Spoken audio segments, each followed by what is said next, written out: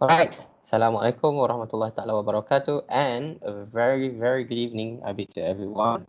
At the moment it is six quarter past six, uh, so we still have another one I think one hour before we break our fast. So how's your day? I hope everyone is doing fine uh, at home.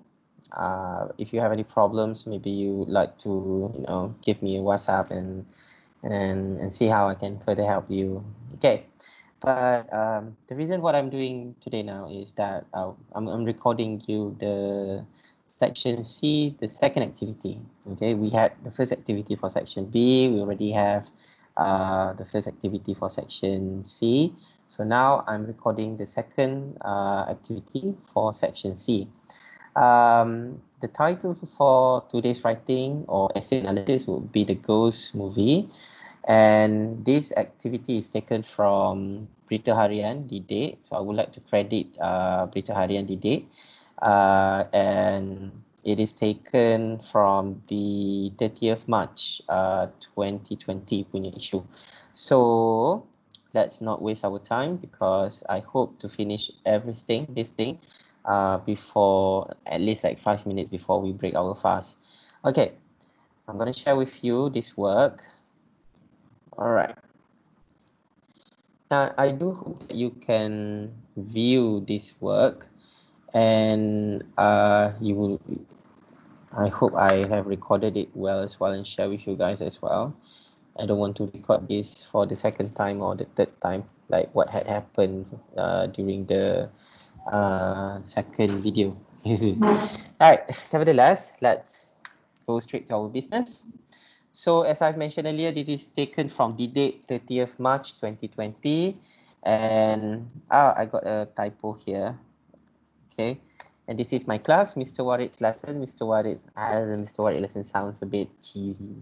Let's go with the words class. Mr. Warid's class and 014, targeting for uh, your essay writing, 014 section C. And this is a video made spe specially for uh, SK Kubang Krian 3.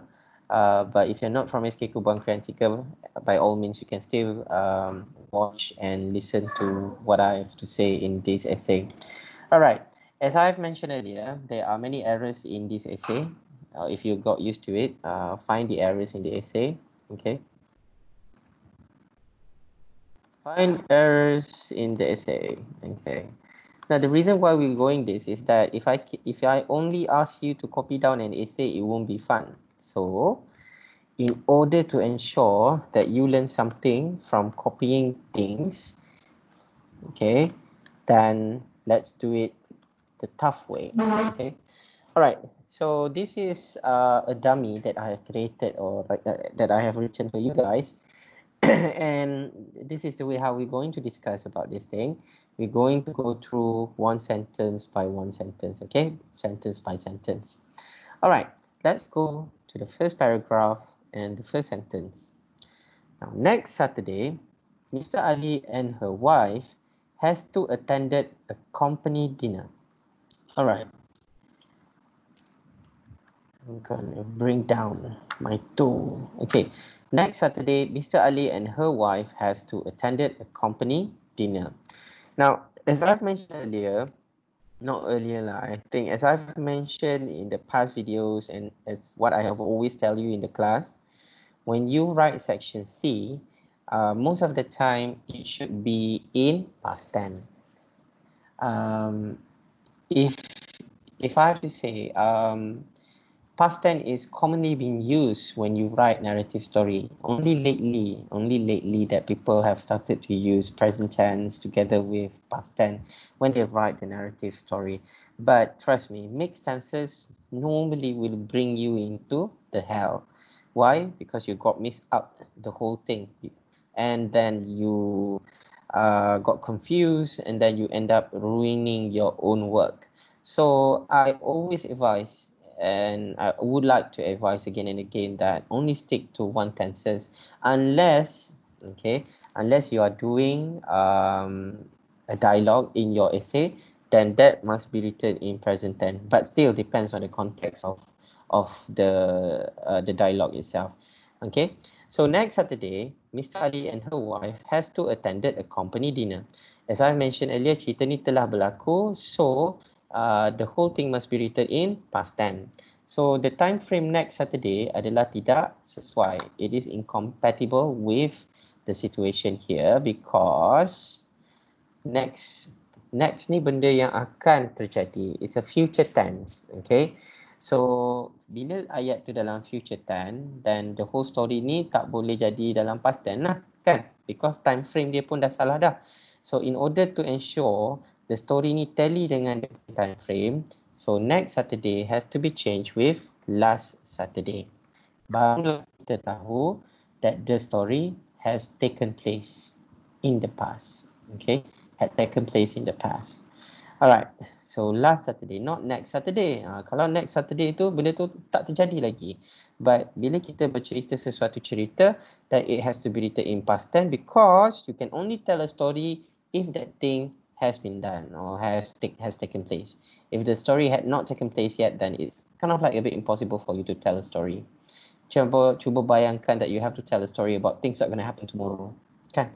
benda nak berlaku esok macam mana esok saya akan sini sini so you're quite limited in terms of you punya uh, the way how you can tell the story okay that's why secara uh, ilmiahnya naratif ni kita guna ataupun kita banyak tulis dalam past tense okay you can only tell a story kalau you tulis dalam past tense alright last saturday mr ali and her wife has to attended a company dinner. So we have detected next salah kepada last. Now Mr. Ali and her wife. Okay. The second mistake dalam this sentence is the word her. Why kita nak guna her? Why we cannot use her? Because her is specifically for woman and Mr. Ali is not a woman so we have to use his. Now sometimes you got confused her ke his, her ke his. Now what is kalau you guna his equate dengan lelaki. Dalam lelaki ada I kan? You see the I here. So ada I dekat dalam his. Alright. Dan dalam her okay ada perempuan such as ER here. Remember you see the ER here. Okay wait I have to change this to black. Okay. Alright. So this ER and this ER. So this is how we associate our first language and the second part. So his dengan her. If you got confused, you tanya lelaki. Dalam lelaki ada huruf I, so kita guna his. Dalam perempuan ada ER, so kita guna her. Okay. If this is um, the trick if you get confused lah nak guna his ke his okay uh, sorry his or her. All right so i'm going to delete this. Oh, okay. So her kita kena ubah. We have to change to his. Okay. Mr ali and his wife has to attended a company dinner as i have mentioned earlier you tengok kat sini last saturday right last saturday is an indicator that this thing has happened so kita tak boleh guna has has ni adalah dalam present tense. Okay. So kita guna had. Oh, sorry. I have to erase this. Okay. Kita kena guna had. Alright. Had to attended a company dinner. Now, menghadiri. Perlu menghadiri. Had to attended a company dinner. Now, uh, attended attended is an issue here. You tahu kenapa attended is an issue? Sebab selepas attended, sebelum attended, before attended, there's a to. Okay, there's a to. We call it to infinitive.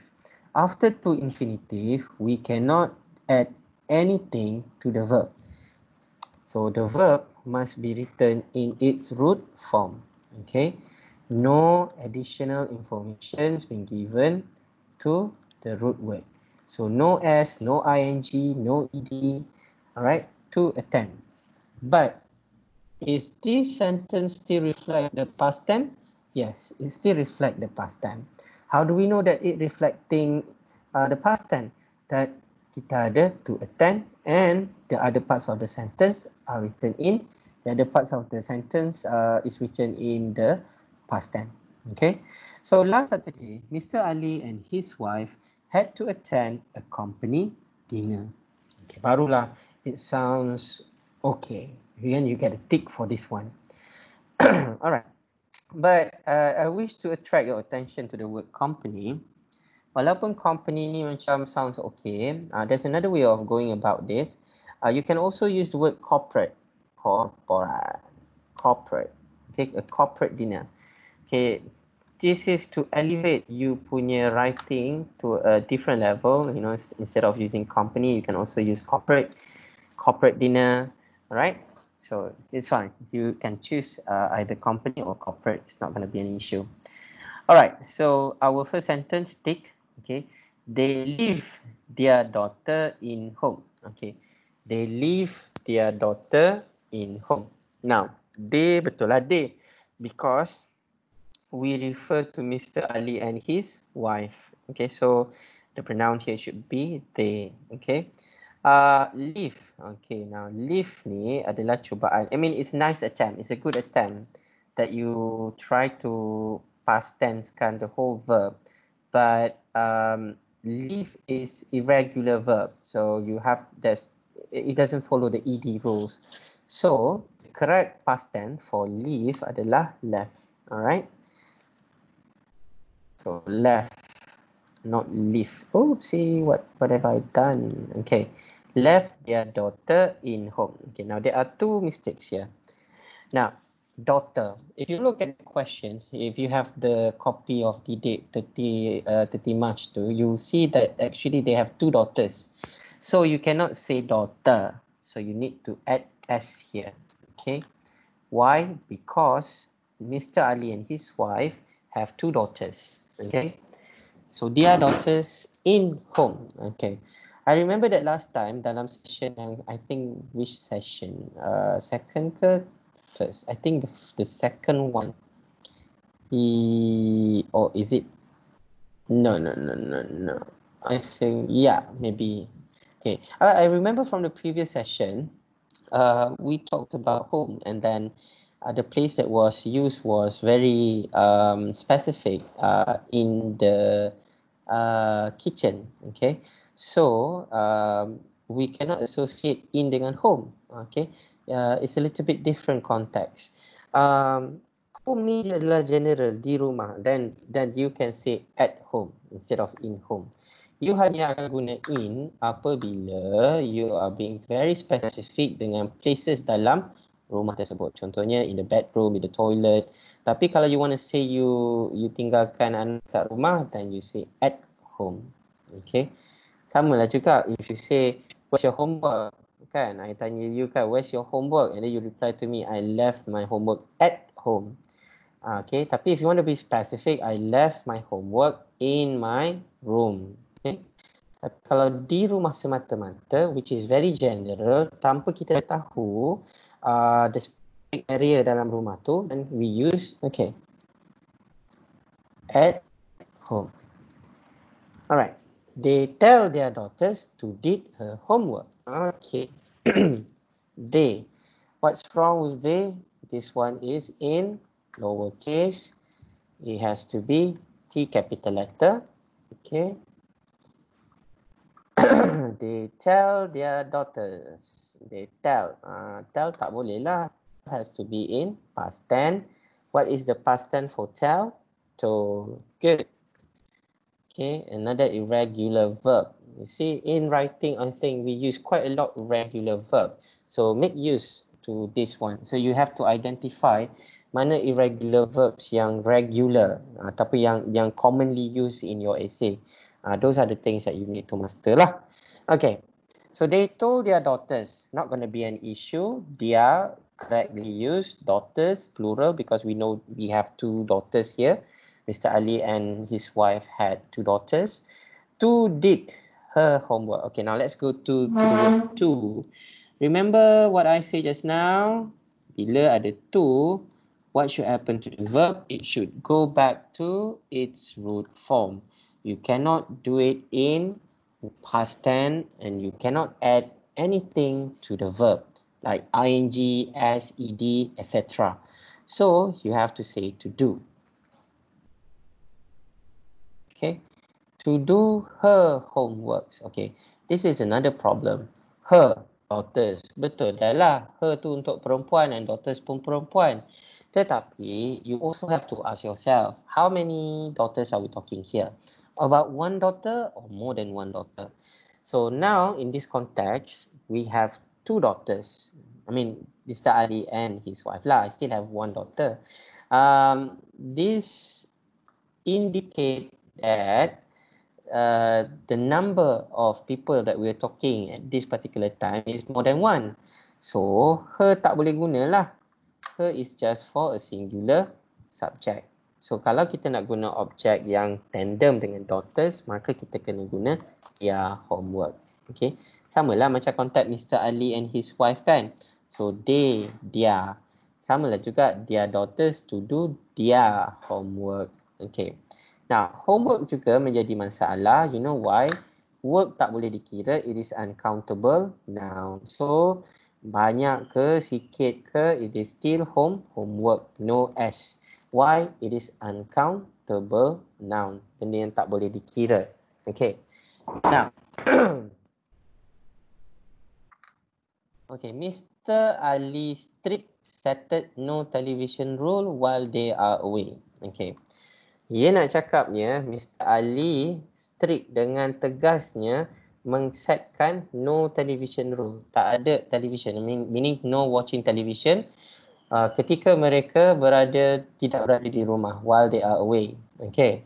So Mr. Ali, kita nak cakapnya set. Okay. Set ni macam put lah. Put, put, put. Cut, cut, cut. Dia tak ada ed. Dia tak ada lah put, put, puted. Uh, cut, cut, cutted. Cut, cutted, cutted. Uh, no. Put, puted, puted. No keep okay set uh, dia tak ada setted so set remain as it is okay setted okay wait wait wait, wait. alright so setted cannot it has to be like this set okay set ni maksudnya macam ni undang-undang menetapkan okay dia tetapkan dia tetap dengan apa dia tetap dengan tegas bila kita kata dia menetapkan dengan tegas, maka kita mengguna adverb. Okay. Menetapkan. Tapi bagaimana cara dia menetapkan? Dengan tegas. So dengan tegas tu memberi lebih makna kepada kata kerja tadi. So strict ni you tak boleh guna. Okay. He is strict. Kalau you kata he is strict, dia jadi adjective. So you have to change this wait, into into an adverb. Okay, into an adverb. So, this becomes strictly. Mr. Ali strictly said. Ah, maksudnya dengan tegasnya menetapkan. Kenapa kita guna adverb kat sini? Because we want to talk more about the verb here. Ah, okay. No television rule. Okay. Ah, tak ada jadi masalah. No television rule. No television adalah compound noun. And then rule ni adalah dia punya noun. So dia compound noun dijadikan sebagai adjective kepada noun ini. Okay. While they are away. Okay. Can you detect the problem? Good. Are. Kenapa are is wrong here? Because are is in present tense and our story is written in past tense. Good. So R is wrong. So we need to choose the word were while they were away. Okay. Now let's read again. Last Saturday, Mr. Ali and his wife had to attend a corporate dinner. They left their daughters at home. They told their daughters to do their homework. Mr. Ali strictly set no television rule while they were away. All right, now it sounds better. Now let's jump to the second paragraph. But the girls don't listen their parents' advice. Okay, ooh, very bad girls here. Now, but the girls, okay, but the girls, tetapi the girls, okay. So the girls ni menggantikan the daughters lah kan. So you see the the shift here from daughters and then now we are focusing on the girls.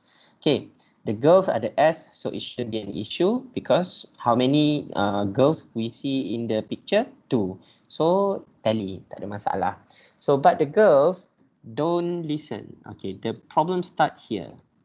Why don't salah? Sebab ini dalam present tense. Past tense dia adalah didn't. Okay, but the girls didn't listen. Then it, then we encounter another problem which is listen.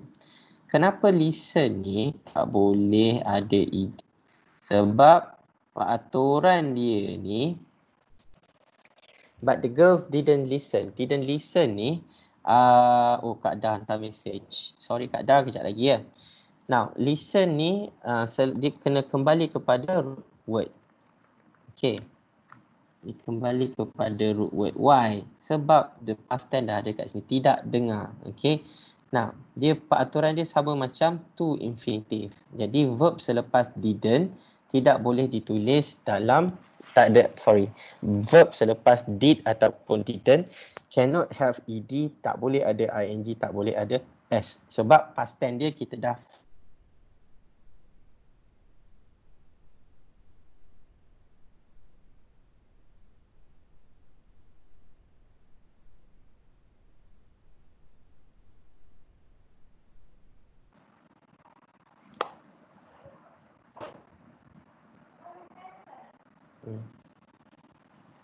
Sekejap ya. Ah, something's wrong. Is it because of the internet? Let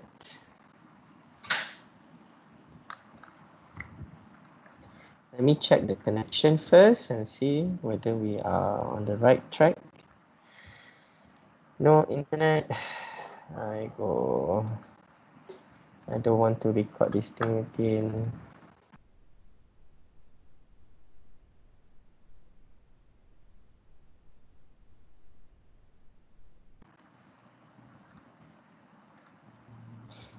All right, stop sharing. No. Meeting in general, call in progress, good. Bad network quality, I don't care as long as we are not interrupted. Now, I'm gonna stop sharing sekejap and then I'm gonna share balik dengan you the files. Where's the files?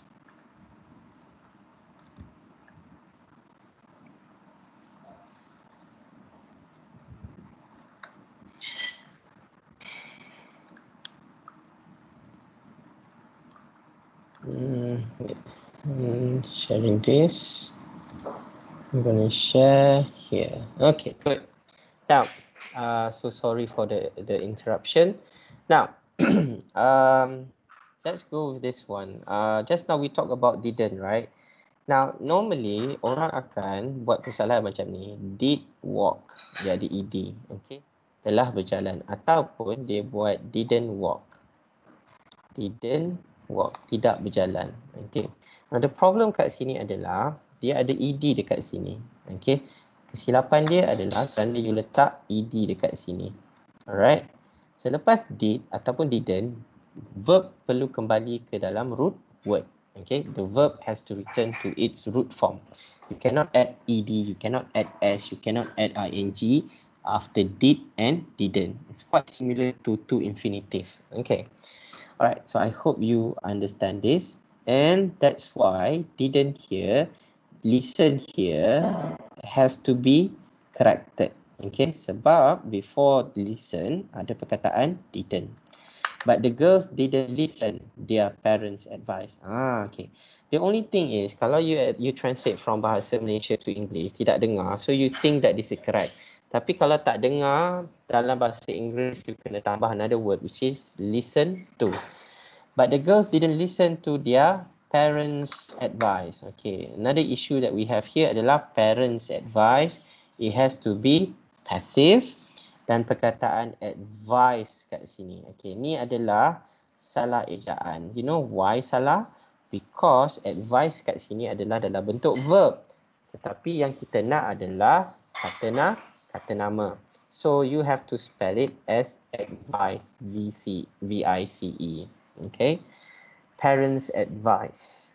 Kecuali lah kalau nak cakap Ali advice Ahmad then baru kita guna yang VIS ini. Tetapi nasihat Ali kan, nasihat Ali. So Ali's advice. Ha, ni advice dia. Itu beza dia. One is in the verb verb form, another one is in noun form. Okay. Once the parents gone. Okay. Once the parents had gone ke were gone. Okay. Now, once the parents had gone, okay, telah pergi, itu berlaku dahulu, okay, they quickly switch the television and watch Korean horror movie titled Ju-on. Okay, once the parents had gone, they quickly switch. Ah, okay, quickly ni adalah adverb nak describe perbuatan switch. Cepat-cepat dia switch. Tetapi switch ni switch yang macam mana? Okay, kita nak cakap switch the television ke switch on the television? Switch on the television. Okay, okay. Switch on the television and watch Korean horror movie title. Okay, and watch tak ada masalah. Korean horror movie. Okay, uh, dia perlu ada a Korean horror movie sebab movie kat situ singular sahaja.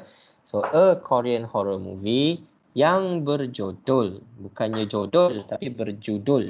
So title requires D. Okay, yang berjudul, yang berjudul, yang bertajuk lah.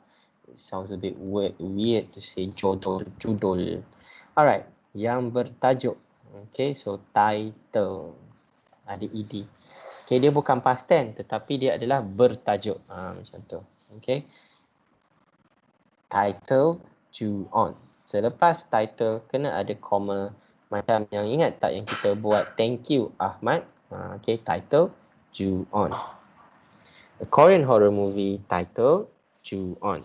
Okay. Oh no, I don't think we need a comma here. Just like this. Okay. No need a comma. Sorry, sorry uh, and watch. Okay, now let's read again. Once the parents had gone, kita guna had sebab ini yang berlaku terlebih dahulu. They quickly switch on the television and watch a Korean horror horror movie titled Ju-on. Okay. The first 20 minutes were fine. Okay, the first 20 minutes were fine. Okay, tak ada masalah. Tick. But things start to become. Okay, start. But things start. Start perlu jadi started. Why? Sebab it is in past tense. Okay. Started. Okay. Alright but things started to become eerie started to became so became adalah past tense As I have mentioned earlier, selepas tu kita kena kembali kepada root form. So became cannot be used. Okay. Dia perlu jadi be become. Simple present ataupun the root form. Okay. Become eerie. To become eerie. Tak boleh ada tambahan S. Tak boleh ada tambahan ING. Tak boleh ada tambahan E, ED. It has to come back to its root form. Okay. To become started to become eerie after this after this ke after that ha, so after that this ni seolah-olah present tense tapi kita nak cerita selepas itu okey bukannya selepas ini selepas ini ha, kita tak tahu apa akan terjadi tetapi selepas itu we know something had happened. We just need to know what it is about. Okay. So that. Cakap selepas itu bukan selepas ini. Right. The first 20 minutes were fine, but things started to become eerie after that. Okay. The movie gave the sister the heebie-jeebies. Okay, heebie-jeebies ni uh, is a, the heebie-jeebies actually, not just heebie-jeebies. Uh, the heebie-jeebies is like an idiom. Uh, kita nak cakapnya macam it give unpleasant feelings macam takut, um, or, or or I think in bahasa Malaysia you can equate this thing to meremang bulu roma. Okay, the movie gave the sister the heebie-jeebies. Okay, so uh, heebie-jeebies ni macam unpleasant feeling lah, macam perasaan seram and things like that. Uh, the movie give, as I have mentioned, this has to be written in past tense. So give cannot be used. We have to use the word give. The movie gave the sister. Okay, now sister kat sini adalah nak gantikan girls. Why? Because kita tak nak asyik repeat the same thing again and again. Then nampak bosan. So what you can do is kat sini dia salah. Dia salah kenapa? Because we are talking about two girls, right? So it has to be sisters. Oh, sisters pula. Oh, oh, oh, oh. Alright, sisters. Give the sisters the heebie-jeebies. Okay, remember the word heebie-jeebies, the phrase the heebie-jeebies. Uh, the movie gave me the heebie-jeebies. The the story that uh, Mr. Rawi told us last time gave us the heebie-jeebies and things like that. Maksudnya meremangkan bulu roma mereka, meremangkan bulu roma kami. Okay, soon they cried historically. Okay, now they cry. Cry has to be written in past tense. So it cannot be cried, it has to be cried. Okay. Historically, his history ni sejarah, okay. Yang kita nak cakapnya hysterically ni secara histeria, menangis yang, yang ala-ala histeria punya. Not secara bersejarah, oh, historically, menangis dengan bersejarah. So it's wrong, okay. The word that we are looking for is hysterically. Alright hysterically, not historically. Okay. Hysteria secara hysterianya. Okay. So they cried hysterically. Okay. Hysterically. Now, so let's read the second paragraph. But the girls didn't listen to their parents' advice. Ingat ya, listen, dia tak boleh listen their parents je. Listen to their parents. Okay. Once the parents had gone, they quickly switched on the television and watched a Korean horror movie titled Do On. The first 20 minutes were fine, but things started to become eerie after that. The movie gave the sisters the heebie-jeebies. Soon they cried hysterically. Okay, now the last paragraph. Lucky. Oh, nasib baik. Nak cakap nasib baik. Remember what we have discussed last time? We don't say lucky. We say lucky, luckily. So, luckily, their parents return on time. Okay, their parents tak ada masalah. Return ada kesilapan dekat sini which is return require ed. Okay, because it has to be written in past tense on time. Uh, I should have said in time pun tak ada masalah lah. Return in time, just in time. Cukup-cukup masa je dia orang menangis tu dia orang balik. Okay, return on time ni as they have promised lah. Okay, so on atau in it shouldn't be a problem. Alright, guess what?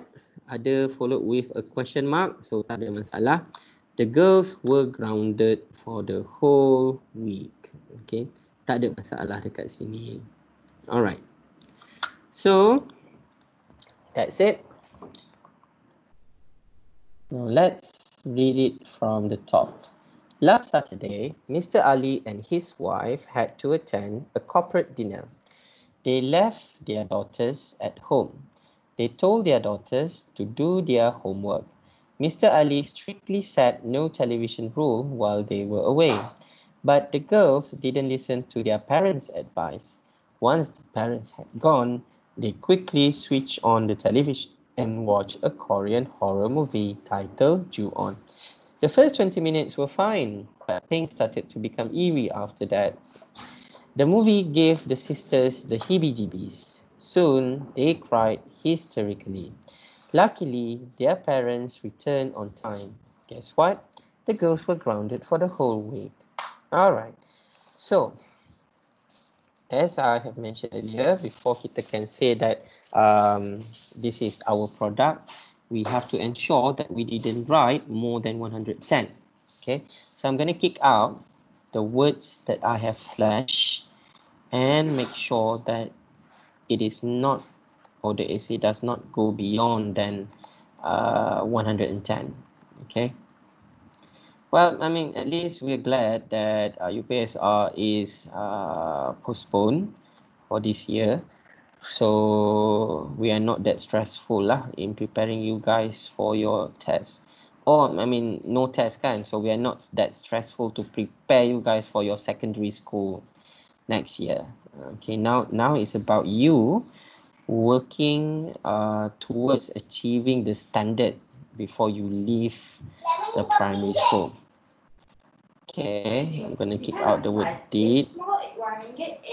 Uh, homeworks, remember yeah, homeworks no S. It is uncountable. If you want to say I have many works, you cannot say I have many work. You have to say I have much work. So I, ataupun I have I have a lot of works. Okay. Uh, trick the setted setted tak ada setted ya. Yeah. Set set set. Okay, no television rule while they were away. Good. But the girls didn't listen. Okay. Remember ya, selepas didn't, verb kembali kepada root word. Listen tak boleh ada ed, no ing, no s. Okay. Kerana apa? Sebab ada didn't tadi. Advice. Advice yang V-I-S-E adalah dalam adalah kata kerja yang kita nak guna adalah kata nama nasihatnya. Okay. Once the parent had gone, they quickly switch on the television and watch a Korean horror movie title berjodoh Ju On. Okay, the first 20 minutes were fine, but take it ugly. I, I would love to say it started to get ugly actually. Started to get to become eerie after that. Okay, after that. But you can also say started to get ugly after that. Okay, the movie gave the sisters Heebie-jeebies. Remember the word heebie-jeebies? Heebie-jeebies adalah adalah what? Macam meremangkan bulu roma you. Okay. So so they cried. Not historically. Historically ni secara bersejarah. What kita nak buat secara hysteria. Okay. So they cried hysterically. Yelah you watch a apa ni, ghost movie alone without your parents, right? Ah, ha, padan muka. So their parents return kembali, kembali on time. Guess what? The girls were grounded for the whole week. Now let's let us check how many words have we written so far. This is 106. Just nice, okay? 106 and I think based on the standard, you inshallah can score more than 22. Okay. All right. So I'm gonna stop sharing. So basically, that's our session, our third session, our third session, um, but our second video for section C. So I hope you have learned something, and I look forward to seeing you guys in the next video. Bye bye.